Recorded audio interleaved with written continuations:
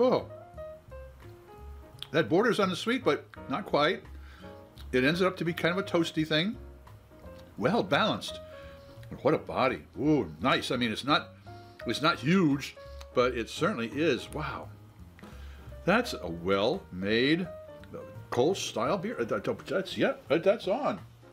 So does Notch Kolsch. Their Cologne style golden ale meet expectations? Wow, they certainly do. I'm Pete LaFrance, the old growler, hoping all of your beers meet expectations.